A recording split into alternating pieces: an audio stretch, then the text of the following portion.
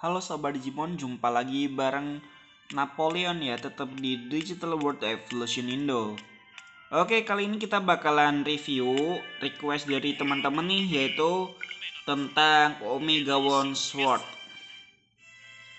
Oke, di sini Omega One Sword aku nih, dia udah ada di level 69 bintang 11 plus 4 ya. Jadi untuk skillnya ada di level 11. Untuk chip di sini aku menggunakan sama dengan Jasmine coy, yaitu Zilot di 4 set, Zilot di 2 set, dan juga Veteran di 2 set ya. Cuma untuk yang bedanya sama Jasmine tuh di ini ya, di veterannya. di sini aku pakai veteran, cuma sama aja sih dengan si uh, berserker ya dia meningkatkan 17% attack cuy. Oke. Okay? Jadi untuk 4 setnya meningkatkan 34% uh, attack selama 2 turn di awal uh, pertandingan. Untuk Zilot meningkatkan 17% dan juga untuk veteran 17% attack. Oke, next kita langsung aja lompat ke brick ya. Untuk brick di sini untuk di tingkat adult aku pakai energi vein yaitu uh, 100% untuk uh, mengurangi satu buah energi dari musuh. Jadi ini sangat berguna ya untuk uh, apa ya? membuat musuh itu kekurangan energi biar kita lebih mainnya tuh lebih anu coy apa namanya lebih cepat ngeluarin skill ya daripada musuh jadi kita bisa gangguin dia buat nggak bisa ngeluarin skill karena kita reduce terus ya energi mereka ya. Hahaha. Oke okay, next kita punya si inevitable hit coy jadi um, selama dalam pertandingan tuh kita mendapatkan kesempatan imun selama lima kali serangan coy ini keren banget. Dan yang ketiga aku ada nose rising yaitu meningkatkan HP sebesar 118 ini sebenarnya terlalu anu sih eh, nggak uh, terlalu dibutuhin nih jadi ini nanti mau aku ubah cuma sih belum ada kesempatan ya aku rekomendasiin dua ini aja energi vein dan juga untuk uh, inevitable hit untuk di tingkat shell. Oke, next kita langsung aja naik ke tingkat adult. Di sini aku ada heroic, ada slaughtering dan juga untuk anunya kita ada keeper. Oke, untuk heroic yaitu bisa meningkatkan 18 eh, 8% ya attack. Untuk slaughtering uh, final critical sebesar 12% tuh meningkat coy. Dan untuk selanjutnya kiper uh, ketika uh, pertarungan tuh dimulai uh, bisa menyerap damage 180 attack coy. Jadi ini tuh kombinasi antara serangan dan juga pertahanan ya. Dan kita kalau ingat di video sebelumnya tuh bahwa uh, Omega Sword-nya aku tuh dia itu adalah hitter ya. Jadi kita naikin aja critical dan juga attack. Untuk defense ya kita bisa abal-abal lah. Terus naik kita ada di tingkat perfect nih. Di sini aku punya argan uh, contem holy body dan juga heroic will. Oke untuk argan uh, contem ini adalah men attack indoor uh, 5% 15% defense of the target. Jadi itu uh, apa ya menidak pedulikan 15% defense target. Jadi itu kalau musuhnya punya defense jadi dia tuh kayak di apa ya di ignoran gitu kayak ditiadakan gitu loh jadi defense-nya itu bisa nembus serangan kita itu jadi lebih sakit karena defense musuh itu ditiadakan keren cuy Oke, untuk Holy Bot ini yaitu uh, resisten terhadap blind sebesar 20%. Menurutku sih ini nggak terlalu guna ya. Jadi uh, Omega Mon ini bakalan dia resisten atau tahan terhadap efek blind. Kayak ini nanti mau diganti coy. Terus yang ketiga ada Heroic Will yaitu meningkatkan uh, 12% attack cuy dan ini cocok banget ya cuman nanti ini nih yang mau diganti aku recommendednya Arrogant Contempt sama si Heroic Will oke untuk di tingkat perfect nih kita eh perfect langsung lompat ke ultimate cuy untuk tingkat ultimate di sini aku pakai fight contract warrior contract dan juga cell of immunity hampir sama kayak yang punyanya Jasmine ya tetap fokus di peningkatan dan pertahanan. Peningkatan yang lebih tinggi ya. Untuk fight contract di sini adalah meningkatkan uh, attack sebesar 16%. Untuk warrior contract yaitu uh, damage critical meningkat sebanyak 30% cuy. Wah, tinggi banget ya. Dan yang terakhir adalah immunity yaitu meningkatkan barrier imun sebesar satu putaran cuy. Cuman di sini karena dia pakainya 8 point break. Ah, ini harus kita anu dulu ya. Kita naikin bintang kita dari 11 ke sekian. Ya masih belum pakai, tapi ini recommended banget nih set of immunity. Jadi aku rekomendasiin 3 item ini. Oke, untuk break intinya kita di sini tetap aja coy pakai jenis hitter yaitu killing down. Untuk killing down di sini aku udah ada di level 2 coy yaitu meningkatkan 24% attack selama evolusi. Jadi item ini hanya bisa dipakai ketika kalian Digimonnya udah evolusi ya. Aku saranin kalian pakai Hikari untuk mempercepat proses evolusi Digimon kalian. Di sini adalah per level dia bakalan meningkat sebesar 12% cuy. Jadi untuk level 1 dia kan 12%, level 2 12 tambah 12 24 lah. Habis itu naik ketiga dan keempat. Cuman di sini karena point breaknya masih belum cukup, jadi tetap di level 2. Oke. Sementara itu untuk Digivice di sini aku tetap sama kayak punyanya uh, Jasmine kemarin ya, meningkatkan di hitter dulu.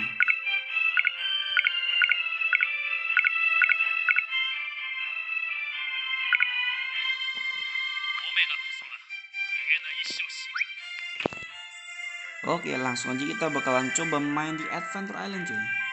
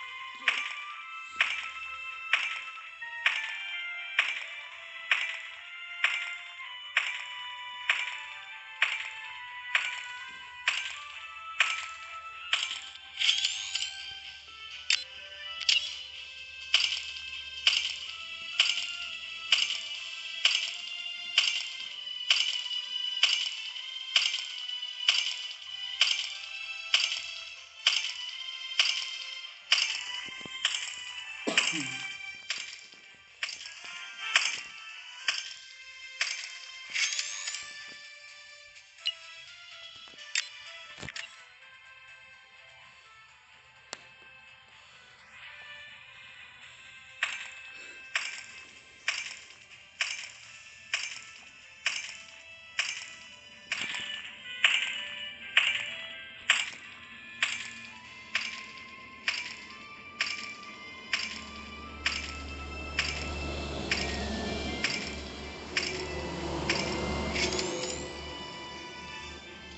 Oke, kali ini kita bakalan ngelawan uh, Digimon Digimon yang ada di sini, coy. Ini ada Black Serapimon ya. Kita bakalan menggunakan Black Astaga, di sini ternyata auto ya. Mau pakai Black Serapimon, coy. Eh, Black Serapimon. Uh, apa namanya?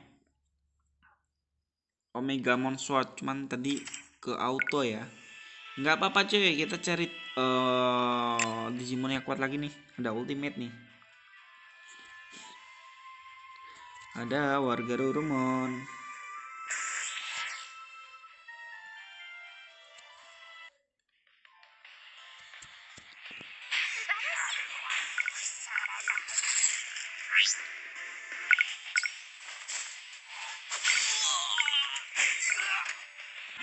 menang cuy.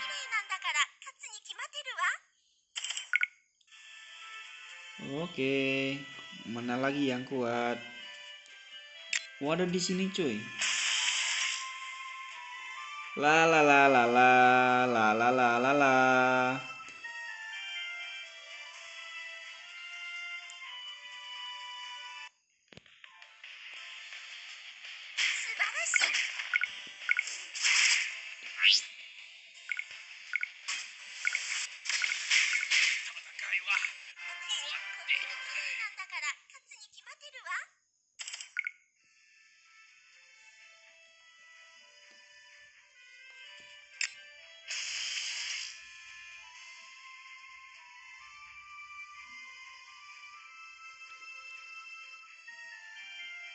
Jadi uh, untuk teman-teman nih yang perlu apa namanya ya?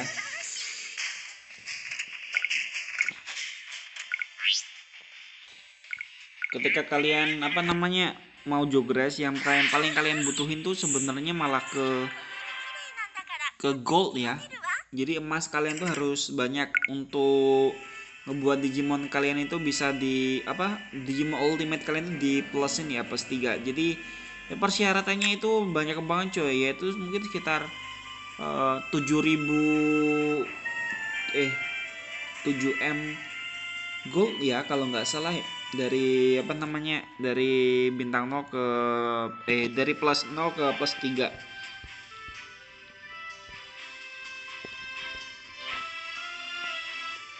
Oke, okay, lagi diamondnya bakalan keluar ya.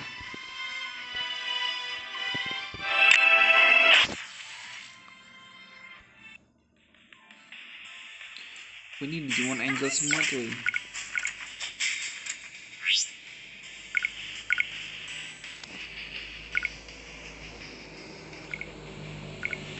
iya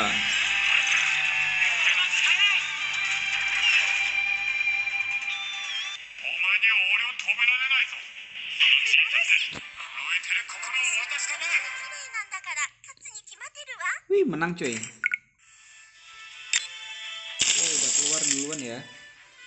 Kita ambil dulu cuy. Go anunya ya. Diamondnya kita ambil cuy. Kita mah bebas sendirian ya.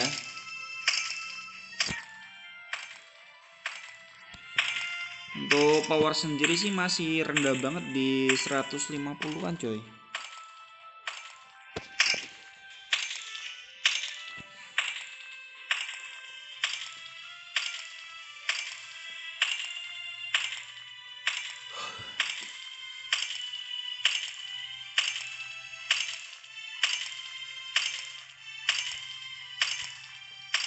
jadi karena pemainnya di game ini semakin menurun jadi mungkin tingkat persaingan juga semakin menurun ya mengingat kita ada di server 9 berapa ya? 98an kalau nggak salah ya. Jadi juga servernya udah terlalu banyak. Jadi mungkin musuhnya juga nyasar di server mana gitu. Tapi nggak apa-apa cuy ini menguntungkan kita ya. Kita bisa Eh, puas-puasin nambang di sini kita kuasai semuanya coy kakak banget ya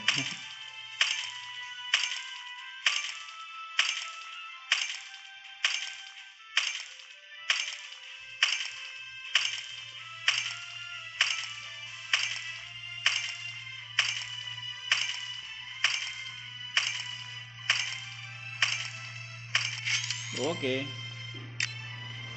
Dapatnya dikit banget cuy, 14 doang ya.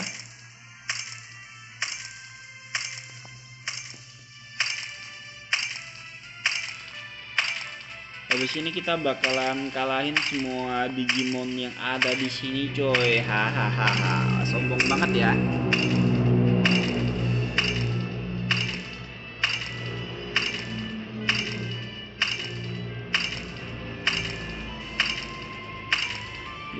Ciletsnya itu kita bakalan bantai semua Digimon yang ada di sini.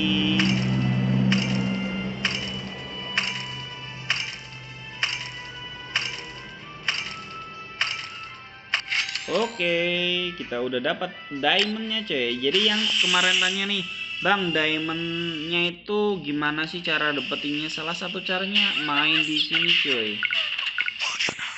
Di Adventure Island ya.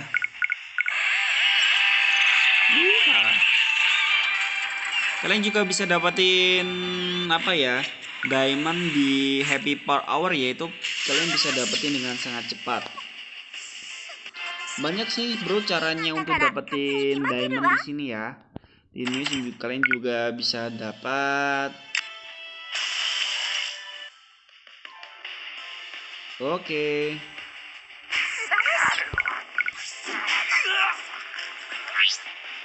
Kita hajar coy. Oke next video kita bakalan reviewin tentang itemnya si ini ya. Si ah, siapa deh ini namanya? Lupa bu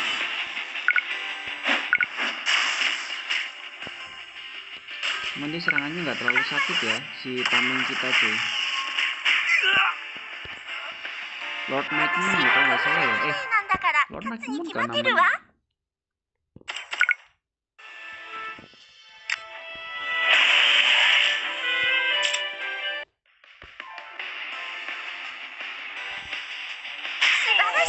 aduh gimana eh, ya. ini udah tikun ya jadi untuk status kita ya ini ya biasanya kita bisa ngecek di sini cuy oke hajar cuy black omegamon ya yeah.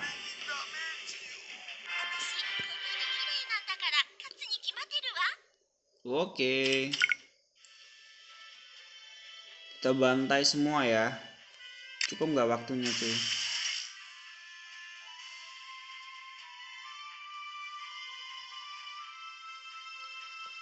Semoga cukup ya「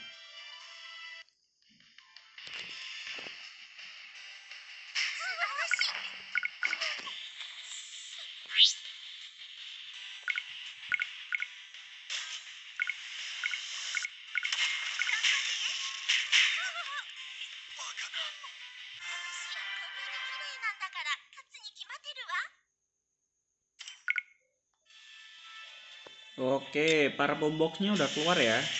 Gak apa-apa cuy, kita mau kill dulu uh, semua Digimonnya dulu ya. Kita percepat, biar cepet.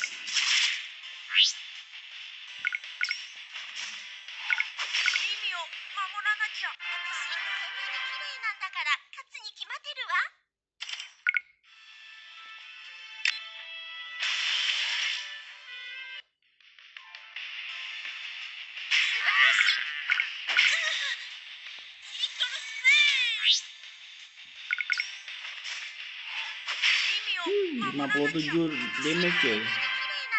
keren banget dah pokoknya ah. kalau kalian sendiri suka Omega Mon yang biasa atau Omega Mon Sword? Kalian coret-coret di bawah dan kasih alasannya kenapa ya? Oke stamina nya gue habis ya. Kita bakalan isi dulu stamina nya ini adalah Digimon terakhir nih. Oke. Kita siksa dulu ya.